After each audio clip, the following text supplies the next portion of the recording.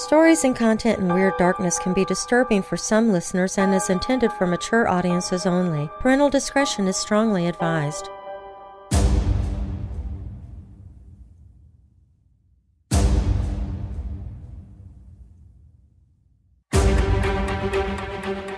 Jeffrey MacDonald has always said that four intruders, three men and one woman, attacked the family in February 1970 while chanting, Acid is groovy, kill the pigs. His two daughters were stabbed to death in their bedrooms, while MacDonald and his wife were found in theirs. Pig was written in blood on the headboard. Colette had been stabbed nearly 40 times with an ice pick and a knife. MacDonald had been stabbed just once, which caused his lung to partially collapse. Despite his injuries, Army investigators didn't buy MacDonald's account and charged him for the murders in May 1970. After 70 witnesses testified at the six-week-long Article 32 hearing, the presiding colonel exonerated MacDonald and urged civilian authorities to pursue another suspect, a drug-addicted police informant named Helena Stoeckley, who matched MacDonald's description of the female intruder, and her Army vet boyfriend, both of whom reportedly told witnesses they were involved.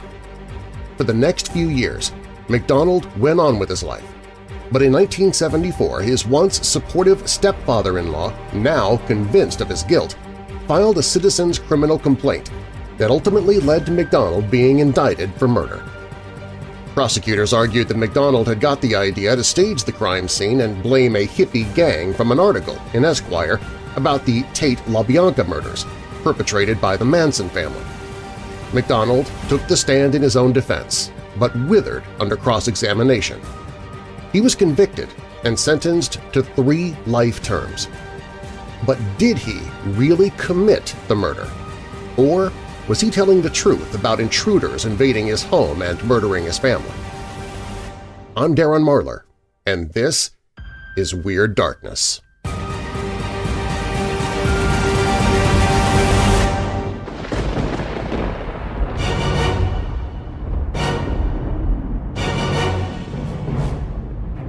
Welcome, Weirdos!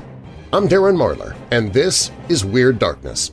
Here you'll find stories of the paranormal, supernatural, legends, lore, crime, conspiracy, mysterious, macabre, unsolved, and unexplained.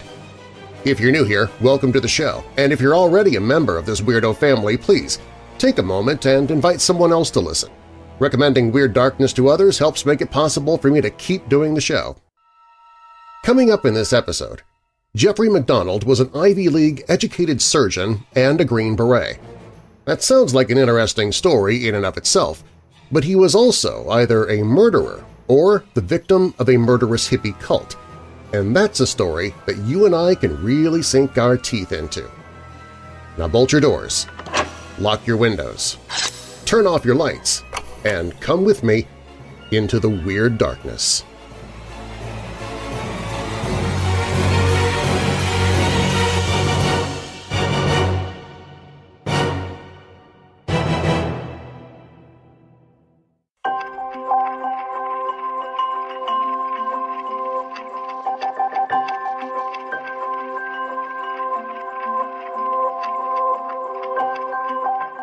Are going to solve some murders. Okay, we won't actually solve them, but to the best of our abilities, with the information available, we're going to make a guess. If you use a loose enough definition of the word solve, then I think that qualifies. Early on the morning of February 17, 1970, MacDonald called police and reported that a group of four or five hippies had entered his home, knocked him unconscious, and brutally murdered his wife and two young daughters two competing theories emerged almost immediately.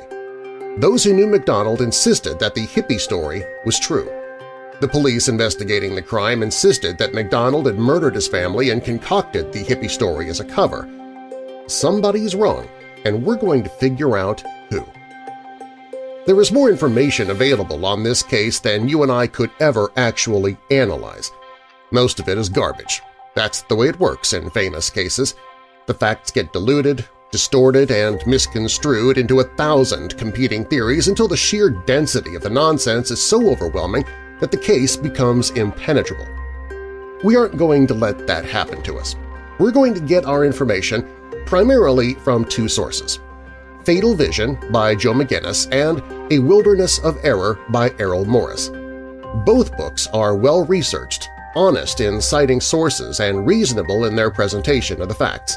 And, of course, the books come to completely opposite conclusions, which is where we come in. For what it's worth, if you haven't read them, I recommend both books. I'll link to both of them in the show notes for you. Morris's book is a little more lively and readable, but McGinniss's is more disciplined and journalistic in his approach. For me to accuse Morris of excessive editorialization would be the epitome of the pot calling the kettle black, so please don't infer that one of these books is better than the other. They are different in tone and substance, but I think that each of them is fair, honest, thorough, and interesting. You're lucky to get two of those things in a true crime book, let alone all of them. Even though Morris and McGinniss do a fantastic job of describing the facts of the case, we're still going to use autopsy and police reports from the JeffreyMacDonaldCase.com to help guide us as well. Let's start with a summary of the pertinent facts.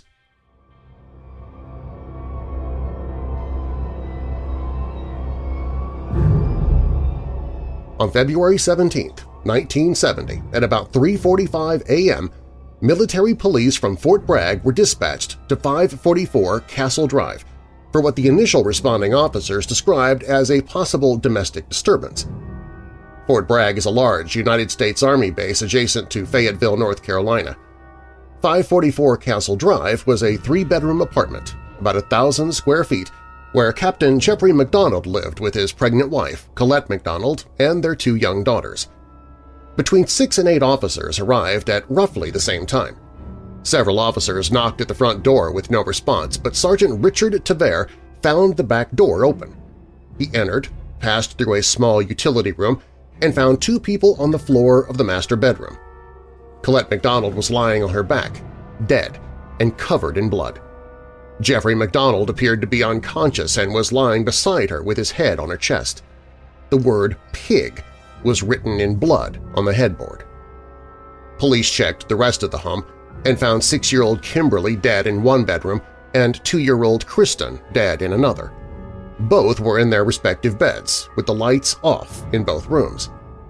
Jeffrey MacDonald regained consciousness, said that he couldn't breathe, and asked the police to check on his children. The officers attempted mouth-to-mouth -mouth resuscitation, which caused Jeffrey to choke and shake, he regained composure enough to tell the responding officers that two white men, a black man, and a white woman had stabbed him. The woman was wearing a floppy hat and carrying a candle. All of the attackers were saying, acid is groovy and kill the pigs. Jeffrey was taken to the emergency room for treatment, and the Army's Criminal Investigations Division, CID, was summoned to investigate the murders. The Army's CID takes a beating in every telling of this story for the job they did on the crime scene. I'm not going to suggest that they did a good job because they certainly did not, but I think the extent of their mistakes has been exaggerated. It's not that they did every single thing incorrectly, as some critics seem to suggest, it's just that the mistakes that they did make were devastating to the case. Most importantly, they let too many people into the crime scene, didn't supervise those people properly, allowed potential evidence to move or, in some cases, disappear before it could be documented, and did not preserve the integrity of potential trace evidence. Mistakes happen in every criminal investigation, but some mistakes are easier to overcome than others. These were not easy mistakes to overcome, especially in a case like this one turned out to be. After hearing Jeffrey MacDonald's story, Officer Kenneth McHugh told the lieutenant on scene that while McHugh was responding to the call, he had seen a woman standing on a street corner a couple of blocks from the MacDonald home. She was wearing a large, floppy hat. Given the time of morning and the weather conditions, light rain, McHugh thought the situation was peculiar. He recommended that the woman be located immediately, but it does not appear that any attempt was actually made to do so. Add that one to the list of mistakes. This next part is going to be unpleasant, so let's get through it as quickly as possible. If you don't have the stomach for it, I understand. I'm going to describe the medical examiner's findings, but here's a short version if you want to skip over the specifics. Colette was brutally beaten with a blunt object and stabbed multiple times with at least two sharp objects. Kimberly was beaten with a blunt object and stabbed multiple times. And Kristen was stabbed multiple times. The autopsy reports are online, but I'll warn you that the ones I reviewed included the medical examiner's photos. Do not look at those photos. There is nothing that you or I could learn from those photos that we couldn't understand better from the written report. Those photos would serve no purpose but to haunt you, and I don't want you to go through that. Colette MacDonald suffered approximately 37 stab wounds. There were 21 small, round stab wounds scattered throughout her chest and upper left arm, and another 16 elliptical gaping incisional wounds to her chest, neck, and abdomen. Her lungs, trachea, and pulmonary artery were all lacerated, causing massive internal bleeding. The two different types of stab wounds suggested two different weapons were used. The stab wounds alone would have been fatal, but Colette had also suffered three large lacerations and several smaller lacerations to the front, sides, and back of her head. The lacerations were caused by a blunt object and were accompanied by a skull fracture. Lastly, Colette suffered a compound fracture of her right wrist with the bone exposed, another compound fracture just below her left elbow, and a fracture of her left wrist. She had been approximately four months pregnant with what the medical examiner discovered was a boy. Six-year-old Kimberly was struck in the head an undetermined number of times with a blunt object. The medical examiner noted at least two blows to the right side of her head causing multiple skull fractures, including one that penetrated through the thickness of the skull and dislocated a portion of it. Kimberly's nose was broken and displaced to the side as well. Kimberly was also stabbed approximately 8 to 10 times in the neck with incisional-type stab wounds similar to those identified in her mother. Based on the bleeding of the wounds, the medical examiner believed that Kimberly was beaten before she was stabbed, though either attack would have been fatal on its own. Two-year-old Kristen suffered more than 20 wounds to the chest and neck, and another dozen to her back. The wounds appeared to have been caused by two different weapons. Kristen also had cuts to the front and back of both hands, along with bruising on her neck, shoulders, and buttocks. Several of the stab wounds penetrated her heart, causing death. Jeffrey MacDonald was hospitalized for nine days but fared far better than the rest of his family.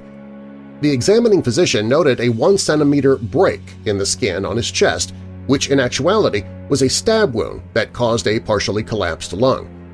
The doctor also noted swelling and a laceration in the middle of Jeffrey's forehead, a superficial laceration to his abdomen, and a 1.5 centimeter laceration to the front of his upper left arm.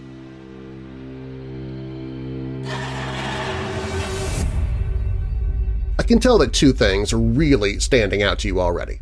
Number one, how come Jeffrey MacDonald had such comparatively minor injuries considering what happened to the rest of the family? And number two, who was the mysterious woman in the floppy hat? I like the way you think. You're good at this. We'll look further into the Jeffrey MacDonald case when Weird Darkness returns.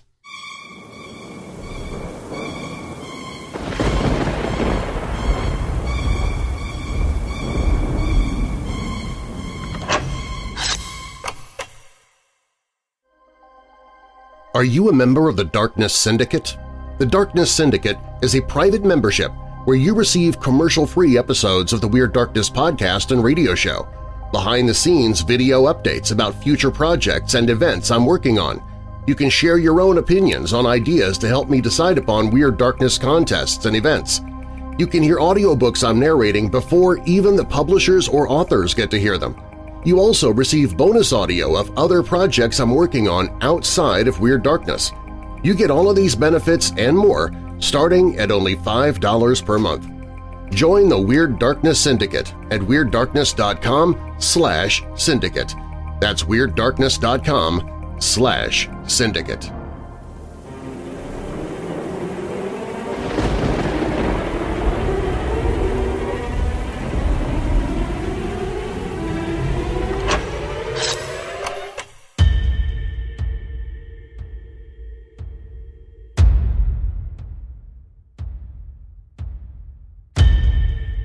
The CID processed the scene, but not terribly well, so we aren't going to get nearly as much reliable evidence out of their analysis as we would expect from an indoor murder scene where police responded that quickly.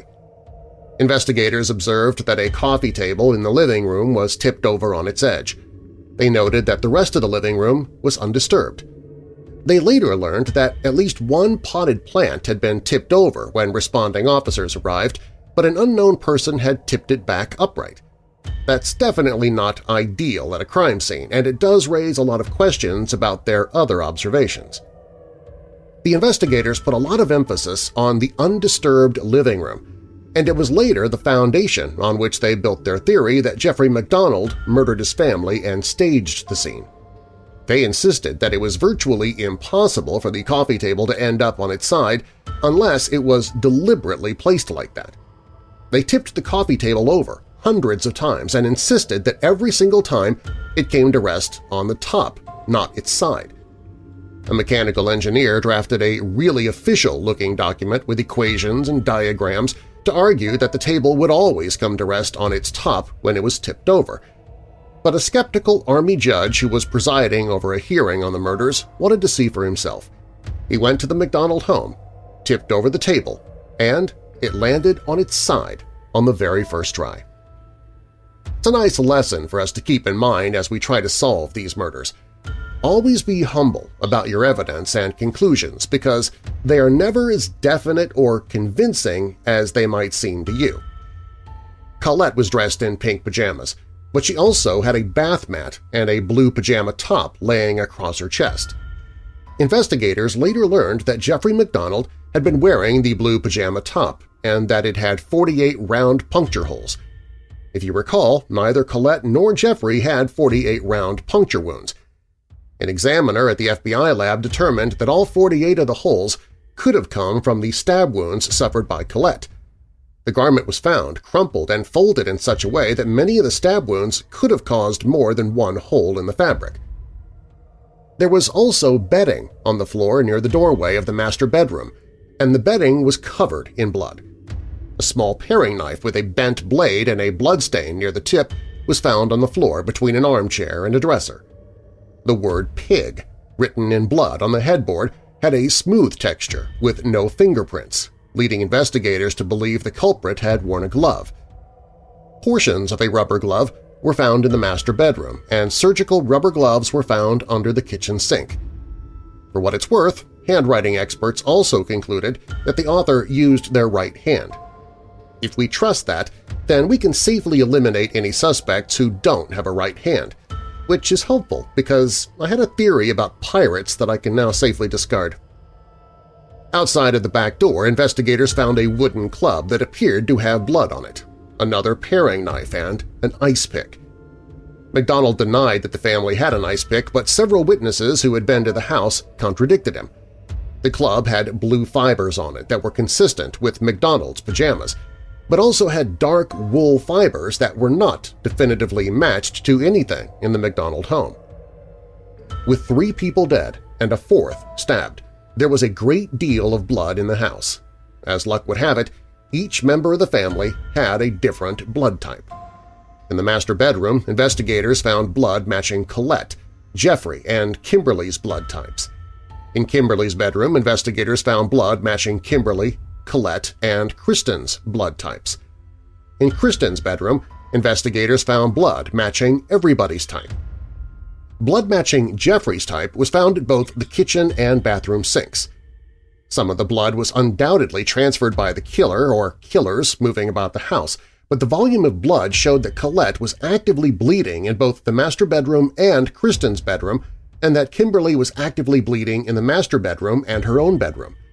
Kristen appeared to have been attacked and killed entirely in her own room. There was also a bloody footprint leading out of Kristen's room. The blood was Colette's, but the foot appeared to be Jeffrey's. That couldn't be determined for certain, however, because the footprint was destroyed when CID attempted to cut out the floorboards to preserve it. A fingerprint that was never matched to anybody was found on a jewelry box in the MacDonald bedroom and Jeffrey later claimed that two rings were missing from the jewelry box. Jeffrey MacDonald's wallet was definitely stolen, but by an EMT who eventually confessed to taking it.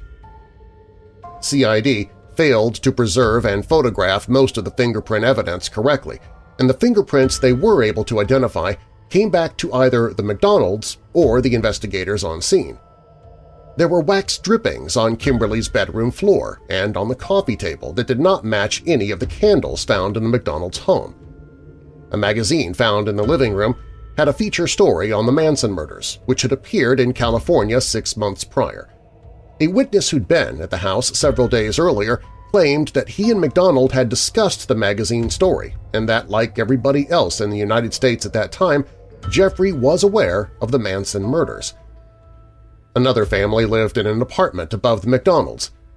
The day of the murder, each member of the family said they had not heard anything out of the ordinary. The family's dog had not barked until the police arrived.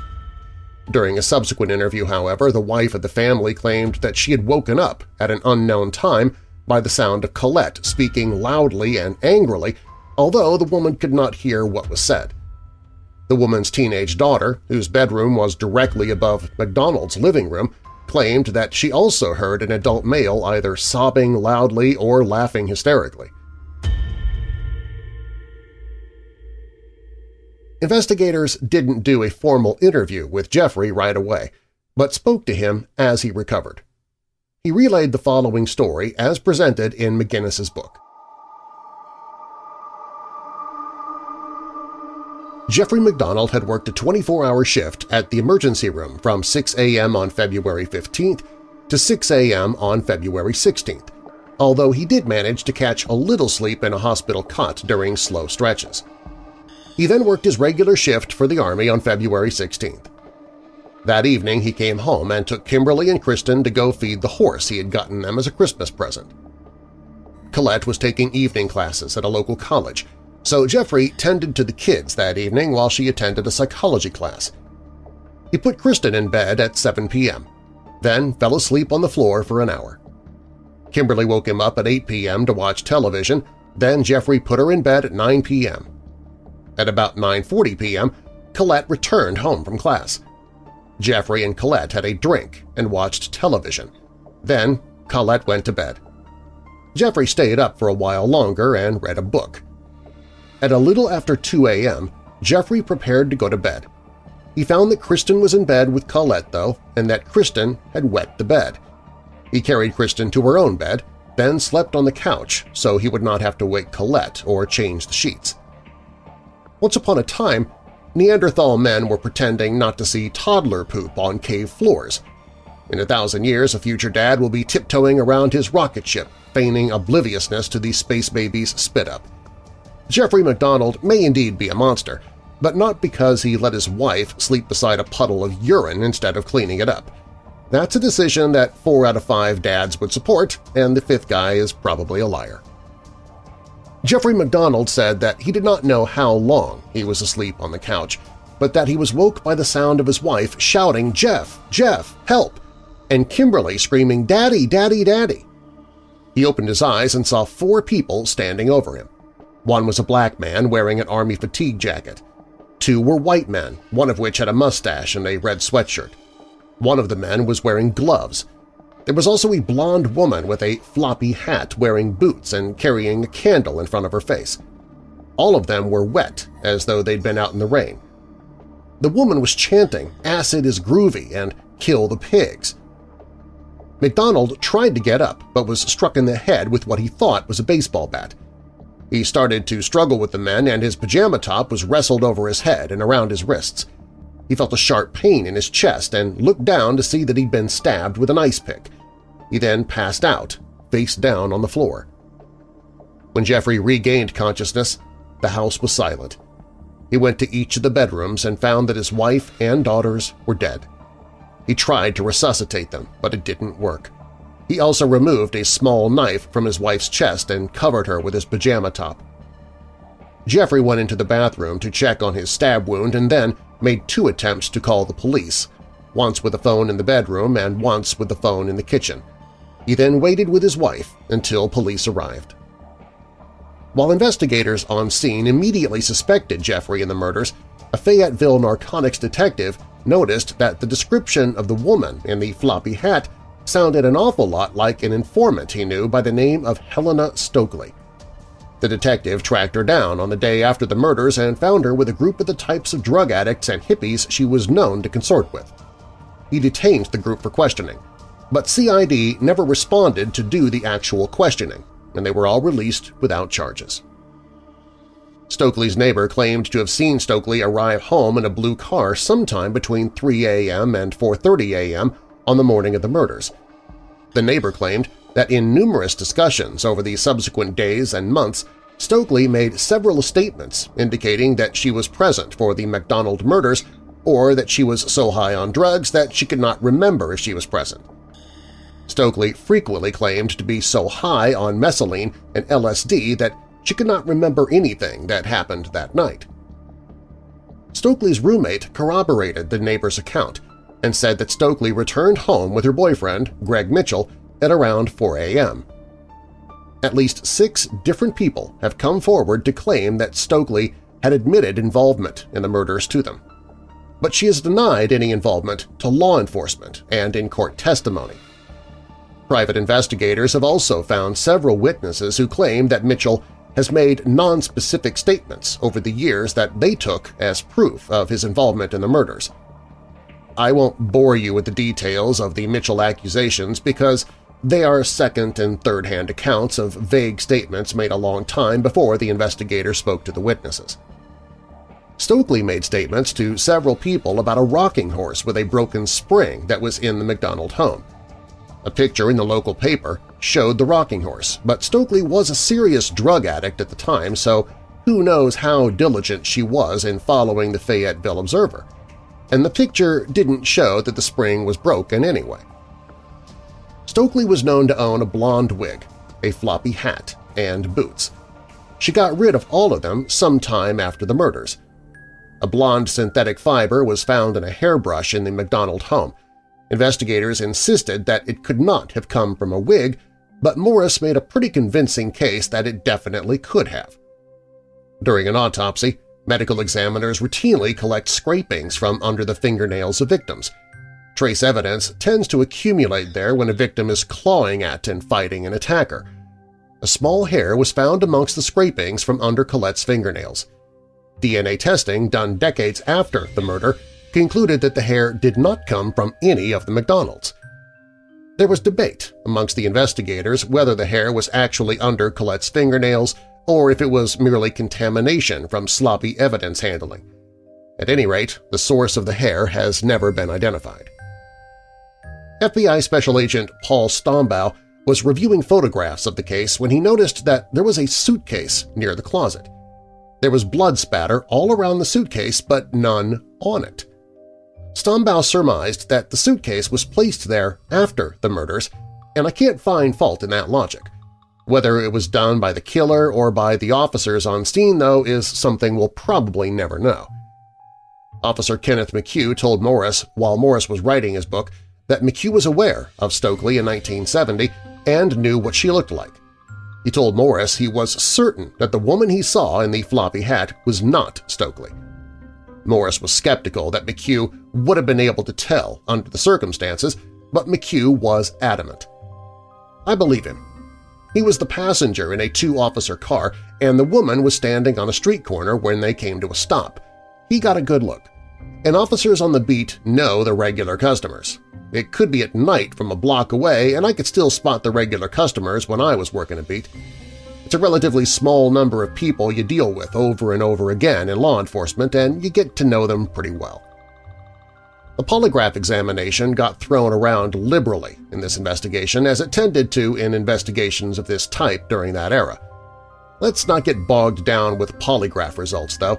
For what it's worth, Stoeckley passed a polygraph in which she claimed to have been present for the murders and Jeffrey failed a polygraph in which he claimed he didn't kill his family. A polygraph can be a useful tool if used with restraint by a skilled polygrapher. It can be the worst kind of garbage evidence when it's not. I don't know anything about the polygraph operators in this case, and there were a lot of them, so I'm choosing to ignore all of the contradictory results and move on as if the tests never happened, you can do otherwise if you choose. And speaking of contradictory gibberish, we're also going to ignore all of the evidence provided by the parade of forensic psychologists employed in this case. I'll summarize it for you so you can quickly toss it aside. Jeffrey MacDonald's personality type was such that he was incapable of committing the murders and also Jeffrey MacDonald's personality type was such that he was a narcissistic psychopath capable of murder at any time. If you've read my book, and at this point there's no reason for you not to, we're friends now, buy four copies and give them to your favorite bobsled team. Then you know how I feel about experts. They are critically important to understanding a lot of things, but they'll also say whatever they are paid to say. Be skeptical of anything that sounds too good to be true. Jeffrey tried to portray his marriage as ideal, but investigators uncovered a series of facts that painted Jeffrey in a different light. He had multiple affairs during the marriage. He worked extremely long hours and took on extra jobs. And for reasons that were highly suspicious and never made clear, Jeffrey was lying to his wife about a month-long trip he was supposedly going to take to Russia. Jeffrey was the team doctor for the Fort Bragg boxing team and told Colette that he was going with the team to Russia. In actuality, there was no trip and Jeffrey wasn't going anywhere with the team. After the murders, Jeffrey went on a media campaign in which he exaggerated the extent of his injuries and ranted about the incompetence of Army investigators. He also told an outlandish story to his former mother-in-law and father-in-law in which he claimed to have found one of the murderers, tortured them, and killed them. This came at a time when his father-in-law was pressing him for information about the murders and the investigation. McGinniss uncovered some evidence that Jeffrey MacDonald had been using amphetamines in the weeks leading up to the murder. They were not illegal at the time and were commonly used for weight loss. MacDonald acknowledged using the pills but not in the quantities alleged by McGinniss. McGinniss makes some pretty far-fetched claims about how MacDonald's amphetamine use could have caused psychosis and hallucinations, which I don't think are worth considering. Colleagues tend to notice when an emergency room doctor is hallucinating. But amphetamine use could definitely cause irritability and exacerbate other sources of stress. The Army held what was called an Article 32 hearing in July of 1970. It was a hearing to determine if there was sufficient evidence to charge Jeffrey MacDonald with the murders of his family. Not only did the hearing examiner determine that there was insufficient evidence to charge Jeffrey MacDonald, he also made the rather extraordinary proclamation that Jeffrey was innocent of the crime. There's a reason we use the term not guilty instead of innocent in trials – it is exceedingly difficult to prove innocence, which is why we don't ever require somebody to do it. In 1979, Jeffrey was charged with and convicted of the murders in United States District Court. Obviously, the jury did not agree with the Army examiner's assessment.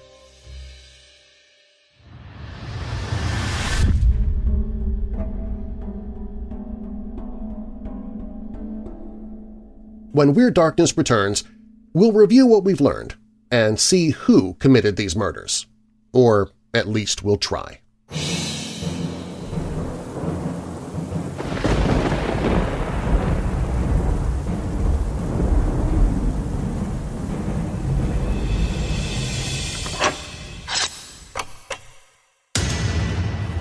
You shut yourself in, the lights are out, and you're listening to Weird Darkness. But suddenly, you get that feeling you're not alone. You don't know what might be under the bed, or in the closet, or in the attic, or in the room with you. You don't dare try to sleep now. You're too scared to. If you doze off, you might be vulnerable to the creatures who haunt your dreams. That's just one more reason to have Weird Dark Roast coffee in the cupboard, because you just never know when you might need it. Weird Dark Roast coffee contains deep notes of cocoa, caramel, and a touch of sinister sweetness. Each bag is fresh roasted to order by Evansville Coffee. You can find a link to it at WeirdDarkness.com. Grab a bag before something else grabs you from the dark.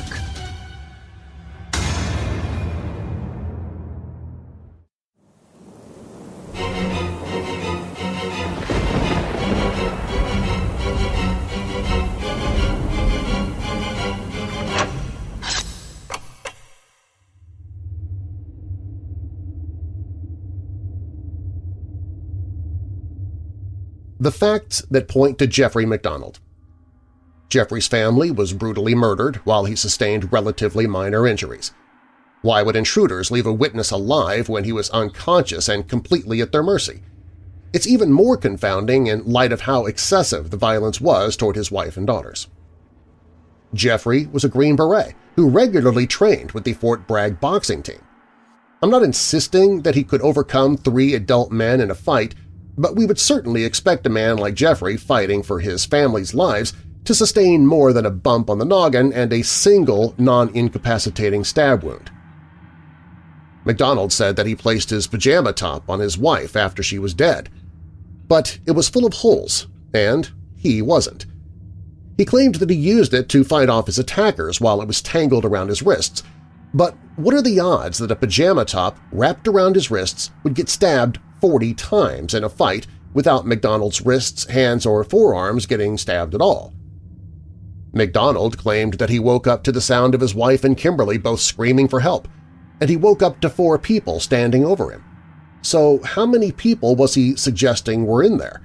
If his wife was being attacked in one room, his daughter in another, and four people were standing over him, then that was a crowded little house. And yet the neighbors living above them heard none of those people, and the neighbor's dog didn't bark until police arrived. Jeffrey MacDonald's blood was found in front of the kitchen sink where he kept surgical gloves. Investigators believe that whoever wrote pig in blood on the headboard was wearing gloves. The murder weapons were abandoned just outside the back door, and even though Jeffrey claimed otherwise, they all seemed to come from the MacDonald household. Why would intruders not bring any weapons to a murder, and why would they risk leaving behind fingerprints? Domestic violence homicides are the most common type of homicide for women and children. Jeffrey was a documented philanderer. Despite the many character witnesses who insisted that he would never hurt his family, he did admit to multiple extramarital affairs. Cheating on your wife hurts your family, and to insist otherwise is disingenuous.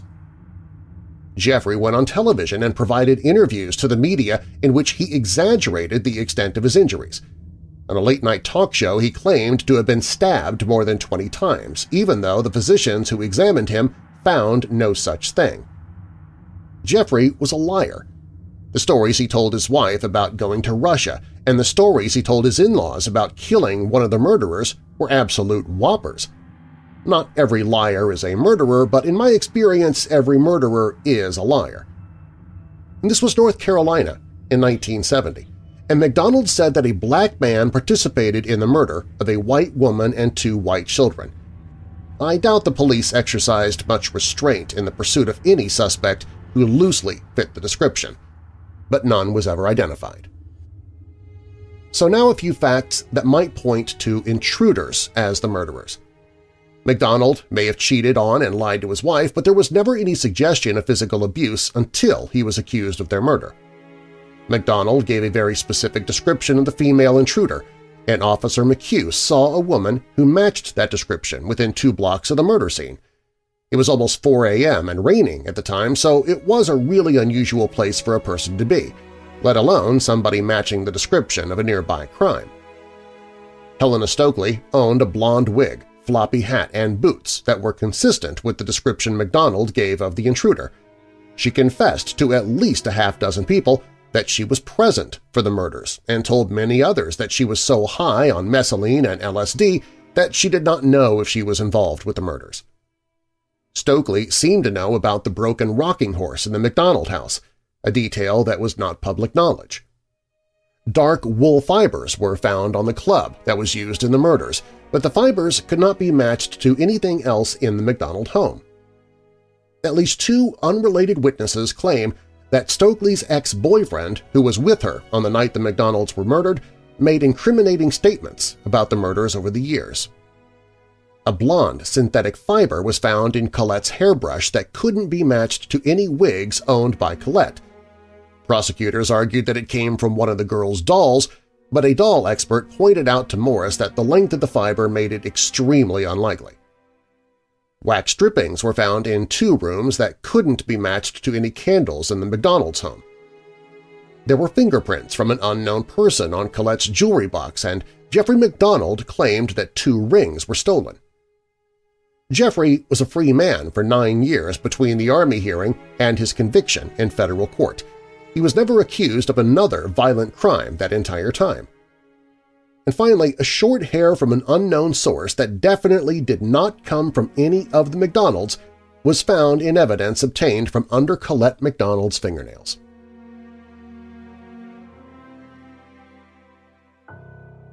The conclusion I have to admit I am a lot more conflicted about this than I thought I was going to be.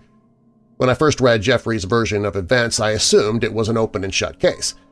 That seems like a completely fabricated story. In February of 2001, I was certain that planes were going to be flying into skyscrapers all the time from that point forward. Thankfully, that wasn't the case. I'm sure that in February of 1970 it seemed like random attacks from murderous hippie cults were going to be normal. Thankfully, they never were.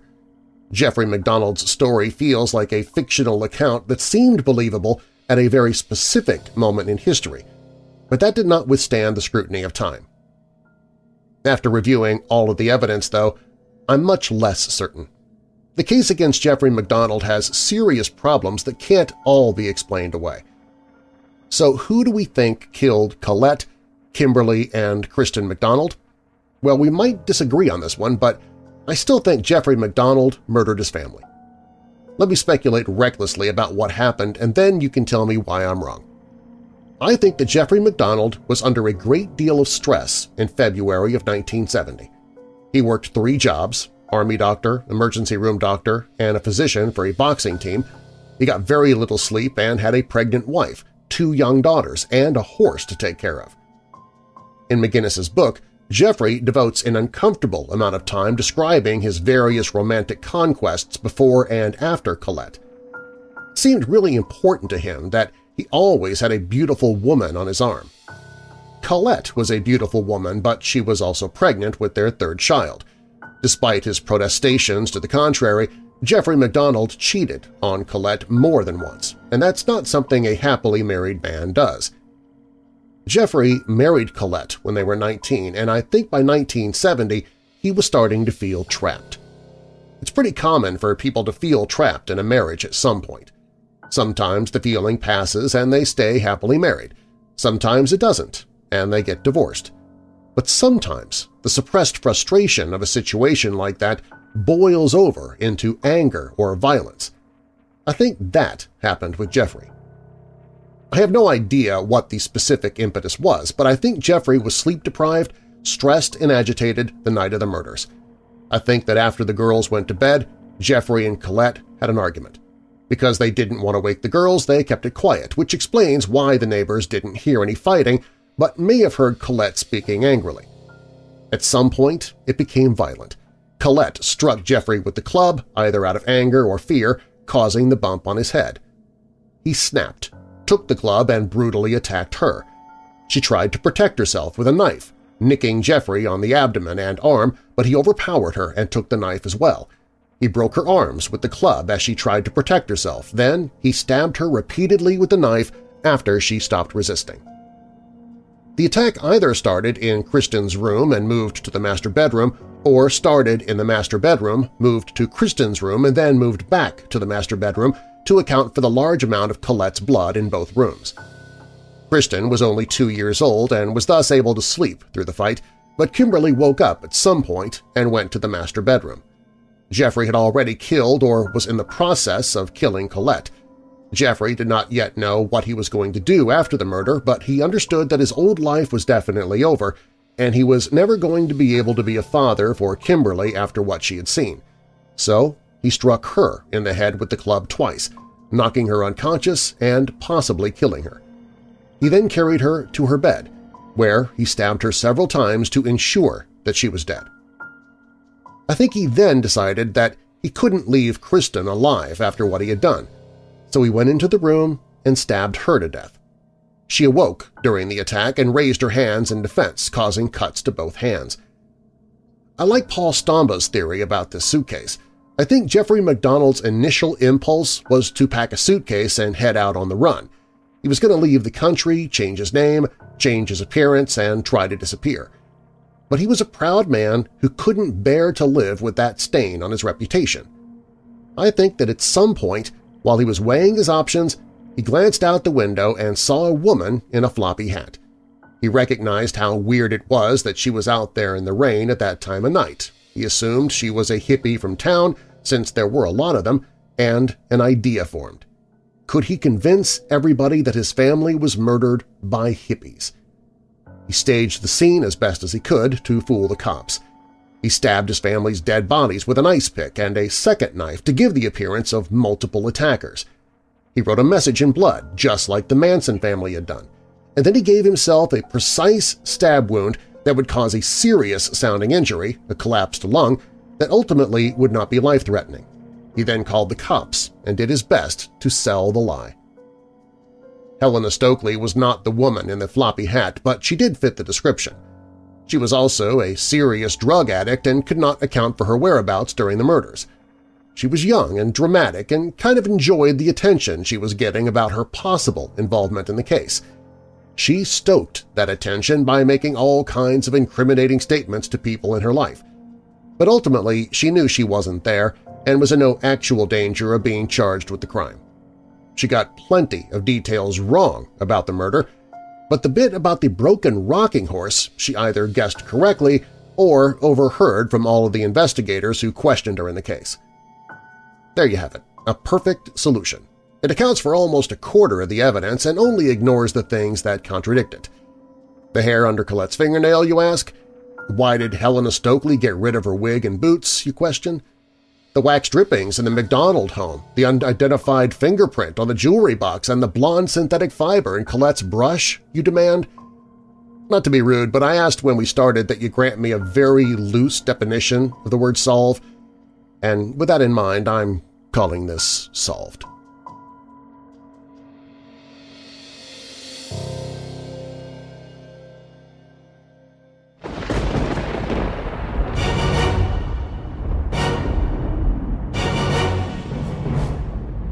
Thanks for listening. If you like the show, please share it with somebody you know who loves the paranormal or strange stories, true crime, monsters, or unsolved mysteries like you do. You can email me anytime with your questions or comments at darren at WeirdDarkness.com. Darren is D-A-R-R-E-N. Do you have a dark tale to tell of your own? Click on Tell Your Story on the website and I might use it in a future episode. All stories in Weird Darkness are purported to be true unless stated otherwise, and you can find source links or links to the authors in the show notes. The murder conviction of Jeffrey MacDonald was written by Barney Doyle for Crime Traveller. And now that we're coming out of the dark, I'll leave you with a little light.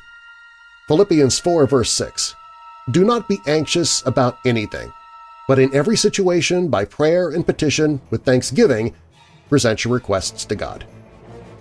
And a final thought. The more man meditates upon good thoughts, the better will be his world and the world at large. Confucius. I'm Darren Marlar. Thanks for joining me in the Weird Darkness.